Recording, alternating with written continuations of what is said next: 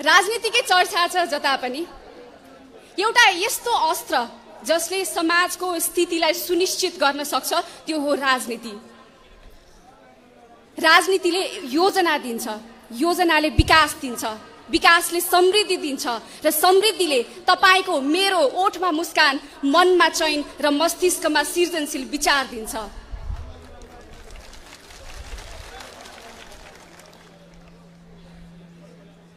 एउटा सुसज्जित राजनीति भएको देश निसङ्कोच बन्छ। देश भनेको कुनै भूगोलको घेरा मात्रै होइन। देश भनेको जनभावना हो जनताको भावना हो। दुई सय पचास वर्षको लगभग लगभग इतिहास भएको अमेरिका आज कहाँ पुगिसक्यो? साठी वर्ष अगाडि मात्रै भोकमरी लागेको दक्षिण कोरिया जसलाई नेपालले पनि चामल अनुदान दिएको थियो भनेर हामी सुन्छौँ त्यो आज कहाँ पुगिसक्यो? दोस्रो विश्वयुद्ध पछाडि चकनाचुर भएको जापान आज कहाँ पुगिसक्यो? र हामी सोह्र सय सत्र सय अठार सय वर्षको स्थापित इतिहास भएको देश नेपाल प्रकृतिले भूगोलले सम्पदाले संस्कृतिले कला कौशल सबैले धनी भएको देश। आज हामी कहाँ छौँ? इस्वी सम्मत चार सयदेखि सात सय पचासको आसपास लिच्छमीकालीन समय। त्यति बेला अमेरिका भन्ने देश पनि पत्ता लागेको थिएन तर नेपाल स्वर्ण युगमा बाँचिरहेको थियो। उदाहरण ज्वलन्त छ। भक्तपुरमा रहेको चाङ्गु नारायणको मन्दिर लिच्छमीकालीन इतिहास हो। जति बेलामा पैसा भन्ने चिजको अवधारणा संसारमा विकास पनि भएको थिएन त्यति बेला हामी पैसा चलाउँथ्यौँ। गुणाङ्क मानाङ्क यहाँले सुन्नुभएको होला। गुडकामदेवले मानदेवले चलाउनु भएको चाँदीका तामाका पैसाहरू हुन् ती हामी त्यति बेला चलाउँथ्यौँ। तर आज हेर्नुहोस् हाम्रो अवस्था। हाम्रो अवस्था के हो भन्ने कुरा यहाँ जति नै ठुलो घर बङ्गला गाडी चढेर बसेको नेपाली किन नहोस् जब त्रिभुवन विमानस्थलबाट अर्को कुनै विमानस्थलमा हरियो पासपोर्ट लिएर हामी जान्छौँ त्यति बेलामा अर्को देशको नागरिक र हामीमा गर्ने विभेदले हाम्रो स्तर जताउँछ हामी कहाँ छौँ भनेर। त्यसैले अब बेला आइसकेको छ। अब यो देशलाई परिवर्तन गर्ने बेला आइसकेको छ। यो देशमा साना ठुला परिवर्तनहरू छोटो समयको अन्तरालमा विभिन्न आन्दोलनहरू भएका छन्। शिक्षा स्वास्थ्य रोजगारी समानताको हक जस्ता मानवाधिकारका न्यूनतम मापदण्डहरू पुरा गर्नको लागि यो देशमा समय समयमा विभिन्न आन्दोलनहरू भए र तिनै आन्दोलनहरूको गर्वबाट स्थापित राजनीतिक दलको उदय भयो र तिनै दलहरू मार्फत आजका शीर्ष दलका नेताहरू यो देशमा राज गरिरहनु भएको छ। उहाँहरूको योगदान नभएको होइन योगदान पक्कै छ। उहाँहरूले नगरिदिएको भए आज हामी यहाँ हुँदैनथ्यौँ उहाँहरूलाई नमन छ। तर राजनीतिमा खारिँदै खारिँदै घटना परिघटना अध्ययन गर्दै गर्दै उहाँहरू अब जीवनको उत्तरार्धमा आइसक्नु भएको छ। अब उहाँहरूले विश्राम लिने समय भइसकेको छ। हामीले ती पुस्ताहरूलाई अब बिस्तारै बिस्तारै गुमाउँदैछौँ। हामीले भर्खरै मात्रै नेपालका एकदम बौद्धिक चेत भएका एकदमै राम्रा नेता स्वर्गीय प्रदीप गिरी गुमाइसकेका छौँ। र यो गुमाउने काम अब यहीँ रोकिँदैन अझै पनि हामीले गुमाउनेछौँ तर उहाँहरूले गुमाउँदै गर्दाखेरि यो देशको बिँडो थाम्ने को त युवा आउनुपर्छ अब। हामी आइसकेका छौँ। देशको घरको छाना टाल्न विदेशिएका नेपालीहरू अब देशको व्यतिथिको भुवाङ टाल्न फर्किनुपर्छ। अक्सफोर्ड विश्वविद्यालयमा पढाउने क्याम्ब्रिज विश्वविद्यालयमा पढाउने नेपालीहरू अब त्रिभुवन विश्वविद्यालयमा पढाउनलाई फर्किनुपर्छ। युरोप अमेरिका जस्ता देशमा उपचार गर्ने डाक्टरहरू अब हुम्ला जुम्ला बाजुरामा उपचार गर्नको लागि फर्किनुपर्छ।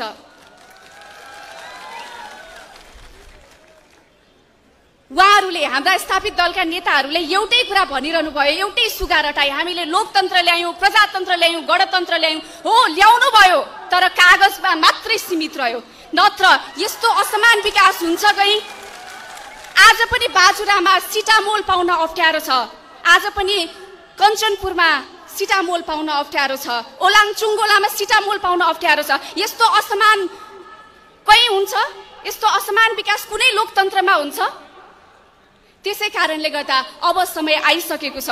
राष्ट्रिय स्वतन्त्र पार्टी आइसकेको छ। युवाको काँधमा नेपालको राजनीति बसिसकेको छ। समादरणीय महानुभावहरू यहाँहरूलाई एउटा मात्रै कुरा भन्छु। नेता भनेको यस्तो हुनुपर्छ जसले देशको भविष्य बोक्न सकोस् कोर्न सकोस्। तर अहिलेका स्थापित दलका नेताहरू जसको आफ्नै भविष्य चार पाँच र दस वर्ष होला उहाँहरूले अस्सी वर्षको नेपाल कसरी कोर्न सक्नुहुन्छ? त्यसैले तपाईँहरूलाई अनुरोध गर्न चाहन्छु तपाईँहरूलाई भन्न चाहन्छु यस्तो देशको नेता रोज्नुहोस् तपाईँहरूले जसले नेपालको भविष्य अब अस्सी वर्ष देख्न सकोस्। त्यो अस्सी वर्ष देख्ने म हुँ। म सोभिता र म सोभिता सिर्फ एउटा व्यक्ति होइन तपाईँहरू सम्पूर्ण सोभिताहरू हुनुहुन्छ त्यहाँ। तपाईँहरूको आँखामा वेग तीव्रता एउटा सबै देखिरहेको छु मैले। त्यसैले अब यो नेपाललाई युवाको काँधमा बोक्नको लागि युवाले अगाडि डोर्याउनको निम्ति राष्ट्रिय स्वतन्त्र पार्टी आइसकेको छ। हामी सँगै हिँड्छौँ। मेरो सपना देश बनाउने तपाईँको सपना देश बनाउने राष्ट्रिय स्वतन्त्र पार्टीको सपना देश बनाउने सबैको सपना देश बनाउने यदि हो भने हामी अलग पो कसरी भयौँ र? त्यसैले यहाँहरू सम्पूर्णलाई फेरि पनि राष्ट्रिय स्वतन्त्र पार्टीमा स्वागत गर्छु। हामी सँगै हिँडौँ सँगै बनाऊ देश बनाऊ र नेपाललाई समृद्ध बनाऊ। हार्दिक धन्यवाद।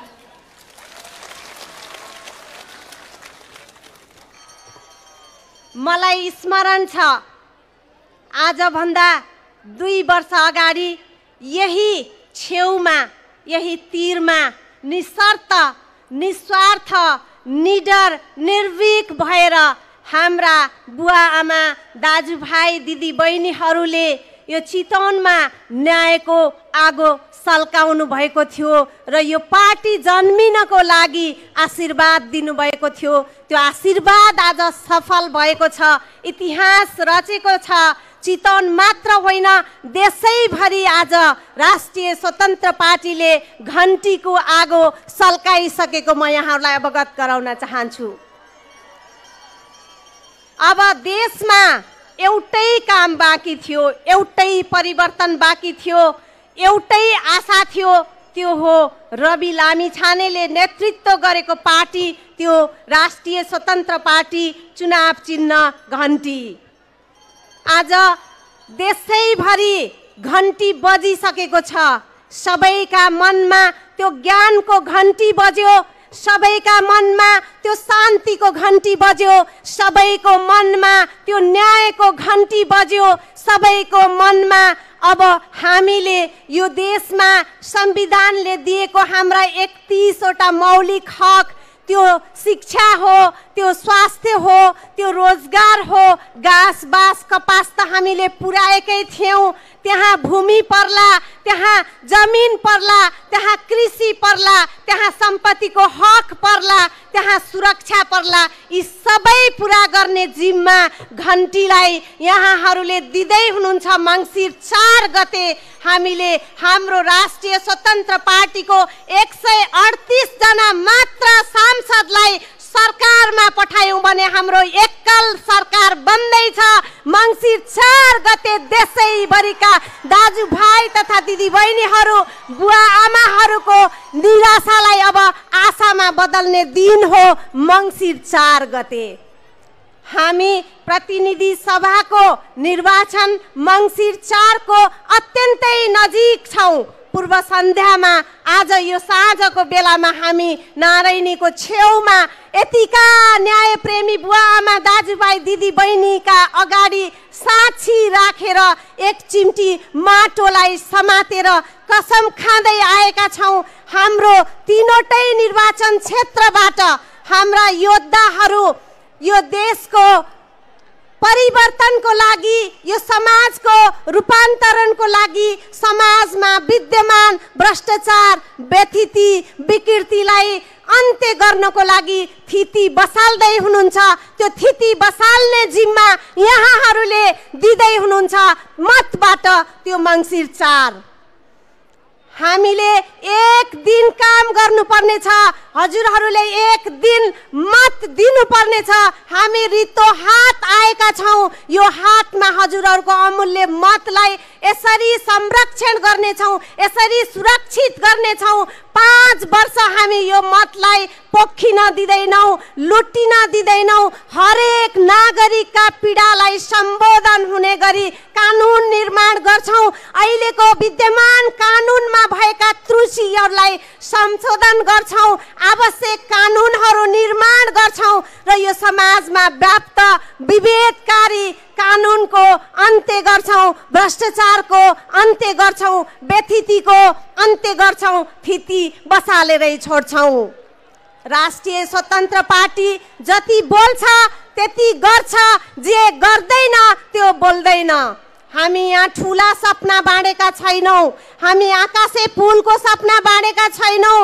हामी यहाँ राफ्टिङ र बोटिङका कुराहरू पनि गरेका छैनौँ। हामी सामान्य हाम्रा हुने खाने वर्गलाई होइन हुँदा खाने वर्गका लागि स्वास्थ्यको समान पहुँच सिटामोल सबै ठाउँमा उपलब्ध गर्ने स्वस्थ दक्ष जनशक्तिहरू हरेक संरचनामा उपलब्ध हुनुपर्ने। हाम्रा दिदी बहिनीहरू हाम्रा भाउजू बुहारीहरू एकजना पनि प्रसव पीडाबाट मृत्यु शैयामा जान नपर्ने गरी स्वास्थ्य सेवाको सुनिश्चितता सरकारी संयन्त्रबाटै गर्छौँ गर्छौँ।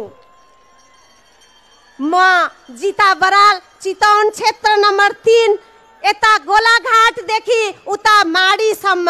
भरतपुर महानगरको उन्नाइसवटा वडा भएको मेरो भूगोल। मैले यो भूगोलभित्र रहेका हरेक व्यक्ति हरेक जाति हरेक समुदाय हरेक टोलका बुवा आमाहरूलाई भेट्नु पर्ने थियो। सीमित समयका पाबन्दीले गर्दा म चोकमा आउन सकेँ म ती सबै बाटा घुमेँ मैले हात मात्रै हल्लाएर यहाँसँग मत मागे म घरमा आउन सकिनँ।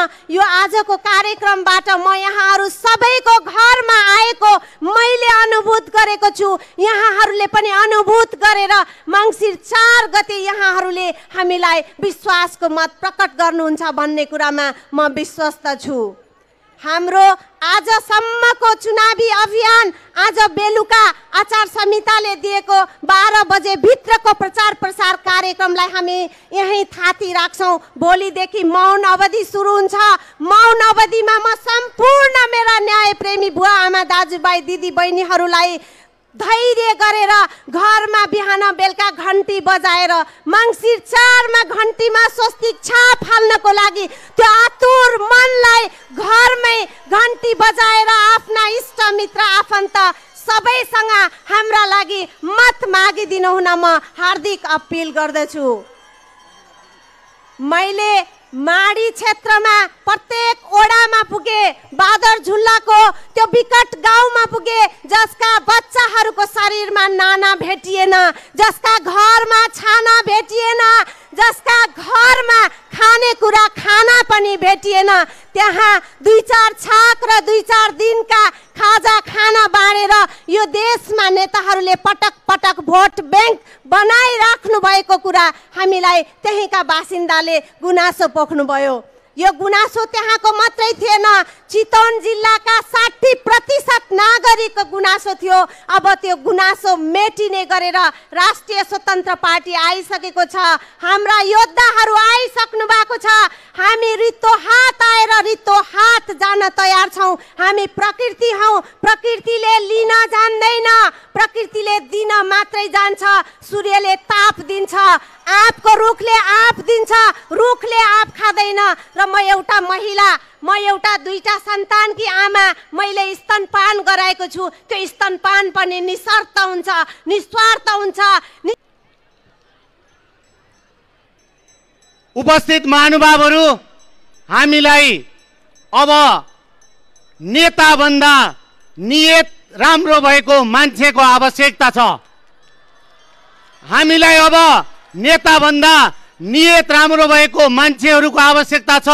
त्यो मान्छेहरू यही हुलबाट निस्कनेछन्। ती रविहरू यही हुलबाट निस्कनेछन्। हामीले त्यो निकाल्नको लागि हाम्रो पार्टीको स्थापना भएको हो। साथीहरू हामीले चुनाव आउँदै गर्दा सुन्ने गर्छौँ पाँच दिन खुवाएर पाँच वर्ष रुवाएर जाने गरेको सुन्ने गरेका छौँ।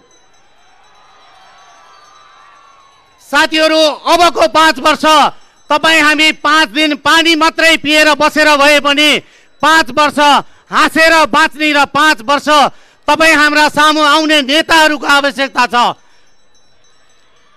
पाँच दिन खुवाएर पाँच वर्ष रुवाउने नेताहरूको अन्त्य यसै मङ्सिर चार गतेबाट गर्नुपर्ने आवश्यकता छ।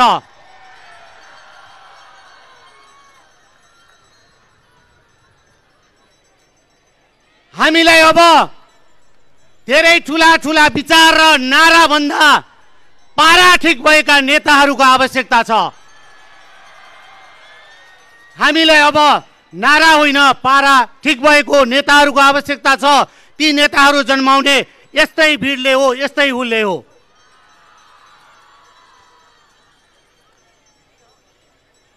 हाम्रो देशको स्वास्थ्यको कुरा गर्दै गर्दा अस्पताल जाँदाखेरि सांसदलाई चिन्नुपर्ने ठुला मान्छेलाई चिन्नुपर्ने मन्त्रीलाई चिन्नुपर्ने हामी कुन चाहिँ कुन चाहिँ जमानामा हुर्किरहेका छौँ? अस्पतालहरूले चिनेको मान्छे चाहिने अनि मात्रै बेड दिने कुन चाहिँ जमानाले हामीलाई हुर्काइरहेको छ?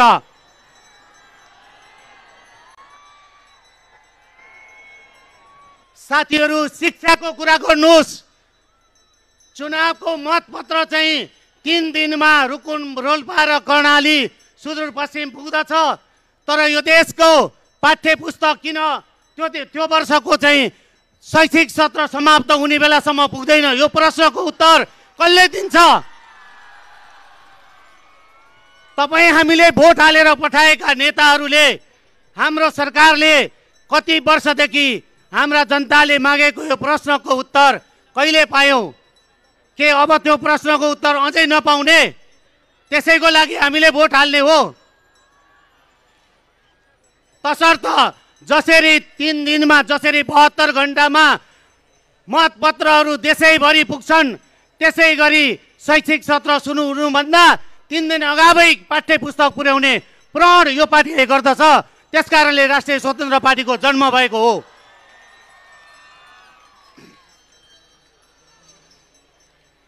साथीहरू यो चुनाव आउँदै गर्दा भएको गठबन्धनलाई म एउटा कुरा सोध्न मन लाग्छ। बुढी गण्डकी बन्नको लागि कै कतिपटक गठबन्धन भए? यो देशका ठुला ठुला आयोजनाहरू बन्नका लागि कतिपटक गठबन्धनहरू भए? यो प्रश्नको उत्तर के? अब हामी प्रश्न मात्रै गरिरहने उत्तर चाहिँदैन हामीलाई। त्यस कारणले रवि लामिछानेहरू जन्मन परेको हो। अर्को मलाई भन्न मन लाग्छ ग्रामीण बस्तीहरूमा डोजरै डोजर लगाएर बाटाहरू बनाइए। तर केही बिरामी हुनलाई असार साउनमा बिरामी हुँदैन बर्खामा बिरामी हुँदैन बर्खामा चाहिँ एम्बुलेन्स चल्नु पर्दैन। के बाह्रै महिना एम्बुलेन्स चढ्ने बाटो बनाउनु पर्दैन? बाटो खनिदिएर रातो रातो डाँडाहरू चिनिदिएर पहिरा जाने बाटो बनाइदिएपछि देशको विकास भयो रे। अनि मान्छेहरू बिरामी हुन्छन् एम्बुलेन्स पाउँदैन। अनि डोकामा बोकेर जाँदा अस्पताल पुग्नुभन्दा अगावै मृत्युवरण गर्नुपर्छ। यसको प्रश्न हामीले खोज्नु पर्दैन।